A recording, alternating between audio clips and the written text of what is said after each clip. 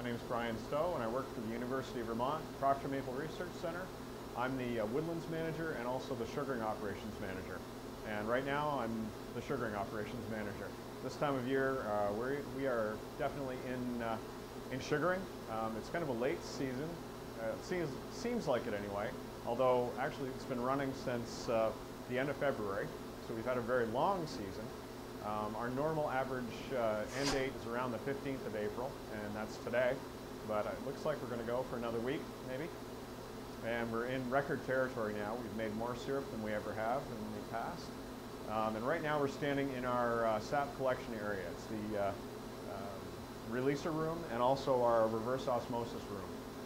So we're collecting our sap from the woods. It comes directly into this room into vacuum releasers. And they actually extract the sap out of our vacuum lines without losing vacuum on the system.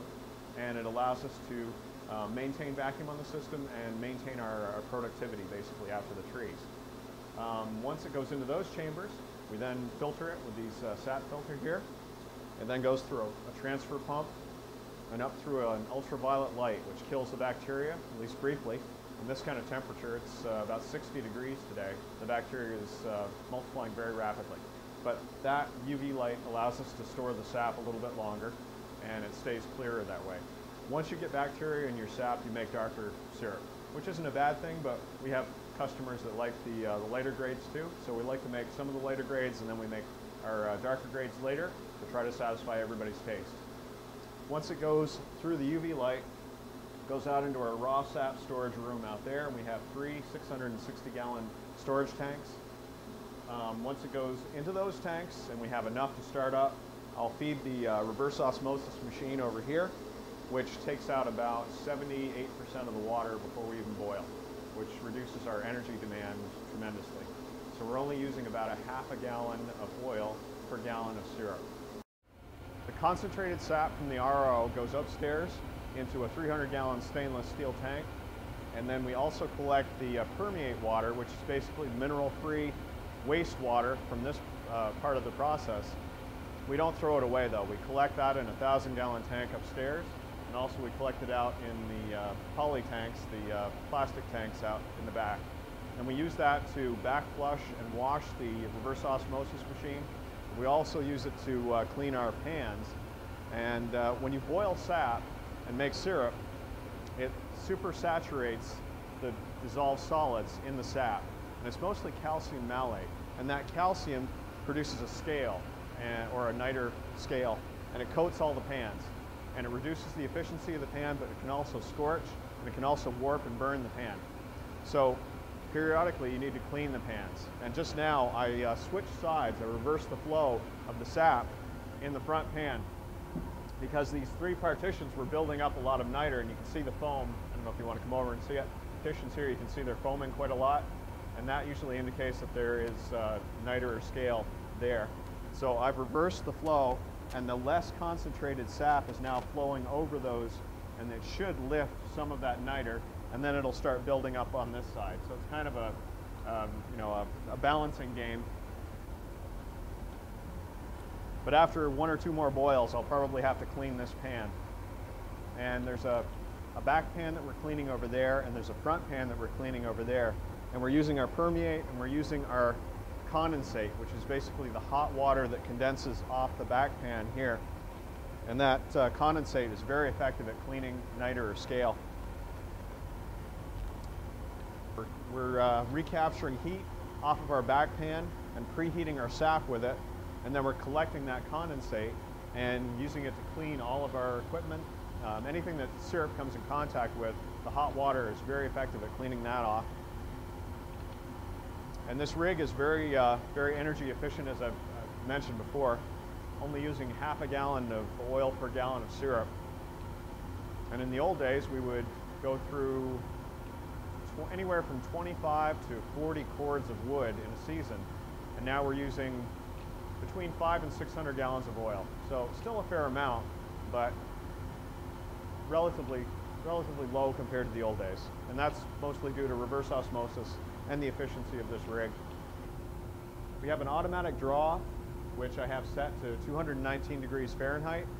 And once the syrup reaches that temperature at this uh, probe. Actually, can't see it from that angle. There's a probe in the front pan, uh, thermometer basically, that when the syrup reaches 219 at that probe, it'll automatically draw syrup here. Once I uh, draw off a bucket, I'll put it over here in my finishing pan, where I will bring it back up to temperature and check the density, the color and flavor, and then I'll filter it with this filter press here and run it into a stainless steel drum and hot pack it. And that will go to a packer and they'll put it in the small retail containers for us. And after that, all you have to do is taste it.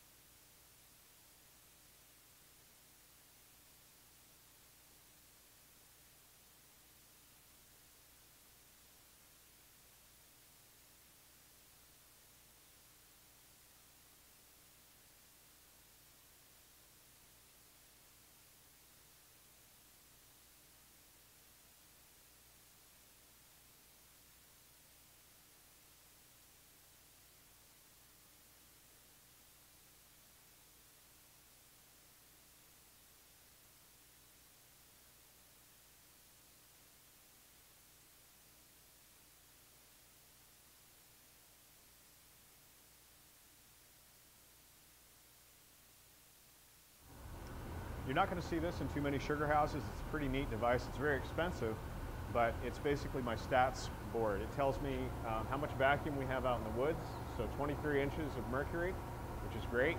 Um, it also tells me how much uh, concentrate I have upstairs, how much permeate I have upstairs, and how much raw sap I have downstairs. So just standing at the evaporator, I can see basically all the, the vital statistics of the sugaring operation from one spot. So lets me know if there's a problem, if a tank's going to overflow, or if I'm running dry on uh, raw sap. Then it's time to go in and work with the RO. All right, over here by the window, you can see basically how the season has progressed.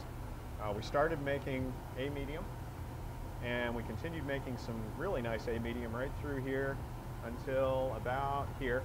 We started making A dark, and then it actually lightened up again for a while, and then we went back to A dark, and then now at the end of the season, or near the end of the season, we started to make a little bit of A medium again. And actually this was very close to A medium, but the flavor is, uh, is pretty robust at this point, so we have to call it um, A dark.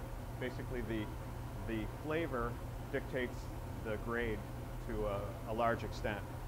Um, for grading, it has to have the proper color grade um, basically light transmittance, but it also it has to have the, uh, the characteristic flavor for that grade. And it has to be the right density too. But all the syrup is the same density. So density, color, and flavor.